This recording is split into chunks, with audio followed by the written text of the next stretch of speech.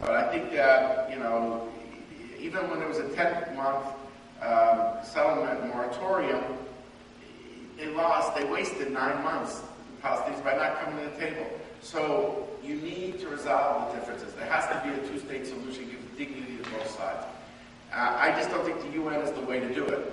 And I think if, if we look at how the Arab Spring has impacted Egypt, how it's led to more incendiary politics, um, and uh, I mentioned the embassy issue, and I looked at Ankara. Um, I think the Palestinians have been impacted by the Arab Spring. Look, Abbas, for Abbas, his biggest patron was Hosni Mubarak. It wasn't just true for Abbas, to be fair, also Yasser Arafat. And he was there for 30 years, and now, poof, he's gone. So it's like the legs have been cut out from under you. And you wonder, and you may, you look at a Newsweek interview, he kind of said that he didn't like it that the U.S. pulled the rug out from under Mubarak because he saw it. Now, this is a very sensitive question, you know, but uh, I think that uh, it is what it is. I think he was looking for some political masterstroke that would capture the hearts, the minds, the imaginations of his own people that will say, this Arab Spring is not going to be directed against me. I'm going to lead the parade. I'm going to find some almost gimmick to, to, to get out from the back of the line and go to the front of the line. And that is going to the UN. Because that is not business as usual. That's drama. The whole world's going to watch. They're going to turn on Al Jazeera. They're going to turn on Al Arabiya. They're going to see me at the UN. And, you know, so I think if you look at one of the legacies is, is, is this week in the UN is directly connected to the Arab Spring. It's Abbas looking for a way uh, to lead the parade. And, and uh, at a time that his own advisors don't seem to like the idea. Prime Minister Fayyad has come out very skeptical of it. Some of the others have been skeptical. But he sees it as he's out there on, on the limb and uh, he's going for it. Now, what could happen as a result? And I don't want to talk too long, so when uh, leave time for the Q&A. Um, you know, I think the expectation was that he would pivot in one of three directions. Pivot towards the General Assembly after, after this Friday and go for um, a UN General Assembly resolution that would lead to a dramatic vote. Um, I think the U.S. and the Europeans have been working together to reshape an alternative resolution uh, but so far, he isn't doing that. Some said, well, he wants to push for a U.S. veto because then he could inflame people on the street, not towards violence, but just to get people enthusiastic about Palestinian statehood, but it could be at the expense of ties with the U.S. Uh, the third element is um, he could say, well, I've shown my political muscles by uh, going to the Security Council. Now I'm going to go to direct talks. And that's what the quartet would like him to do. That's the U.S., the European Union, Russia, the United Nations. And there's a formula for direct talks, largely based on the Obama speeches in May. And that was, you know, one of the pivot points. Right now, we don't see him pivoting in any of those three directions. Right now. Things could change between now and Friday or next week.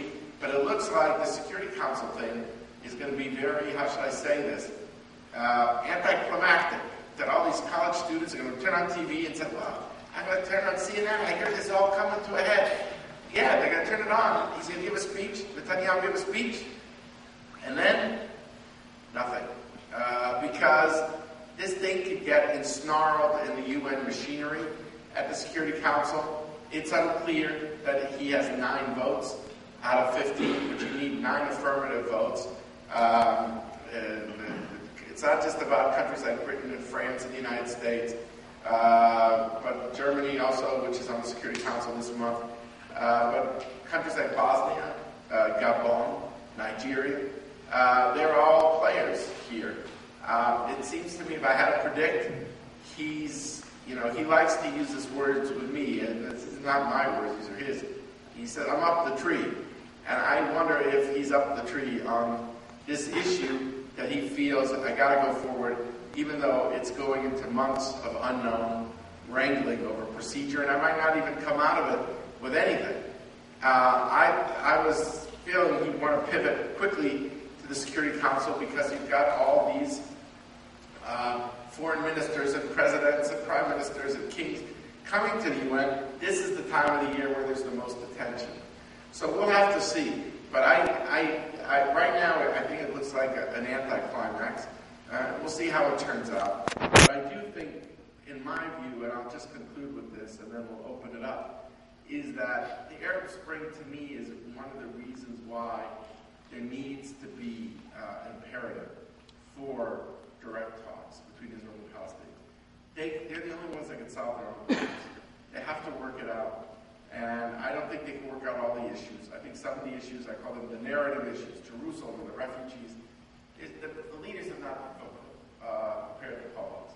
And where they haven't prepared the publics, it usually doesn't work. I'll go back to sports. If you throw a desperate pass football, it's called a Hail Mary pass. It never works. You know, you throw this long pass at the end of the game, it's either incomplete or an interception or uh, a sack quarterback it never seems to work. You're better off throwing what I would call in football a screen pass, a shorter pass. Run the ball 70 yards. Have you scored? No. But you were. it's better to be on your own goal line. Better be right, you know, within field goal range. Uh, you still have some work ahead of you, but you've come a long way. And that's where I think these practical issues could be worked on. But, you know, I said to President Abbas that for you, it's all about the land and the settlements. And I understand that, and I wrote uh, I did some maps that the New York Times has just published online. If you go to newyorktimes.com and put in my name, you'll see the maps. And it's on, um, but, you know, I said to him, "You see, it's all about maps and land. And I understand that. I'm sympathetic. But you should understand that there's an alternative narrative. The Israelis feel it's not about land at all. They got out of the West Bank. I mean, they got out of Gaza, they got out of Lebanon, and they got thousands of rockets. And those rockets meant that if you didn't like the movie, you know, the book in Gaza, you don't want to see the movie in the West Bank. And for them, they feel they're more insecure than secure. The whole idea of land for peace is to feel secure, not to feel vulnerable. And so you've got to realize, as the Israelis see it, the narrative is not about land. It's about acceptance in the region. Uh, and then you projectionist groups like Hamas and Hezbollah that don't accept Israel the size of a telephone booth in Tel Aviv, let alone within what we call the pre-67 lines. So it seems to me that each side is that they has to cross a historic threshold. And uh, for you, it's about the land, but for the Israelis, it's about acceptance of this region. It's a Jewish state, is but with equal rights for all citizens. And I think, sir, that if you don't cross that threshold, they won't cross that threshold. No one's going to do it alone. Each one's going to have to do it together. Uh, I think that's the hope. And uh, I think there's a chance of this, not to solve all the problems, but to solve the practical issues uh, that divide them. They can deal with the narrative issues later on. But, uh, but the, we need to build some trust that, that there's some hope here. If you add up, people say, you know, do you believe in two-state solution? Each side is about 65 to 70 percent say, yeah, they support it. Then you ask them a follow-up question. Does the other side want it? Oh, no, they don't want it. Then you're down to 30 percent. There's gut fears on each side. The Palestinians, it's about land. The Israelis, it's about acceptance. And I think you have to cross both of these historic thresholds. And to me, this is where we're at with the Arab Spring. Uh, there's a lot of long-term hope. But in the short term, uh, the politics can be much more turbulent, and we just have to uh, keep our eye on the ball.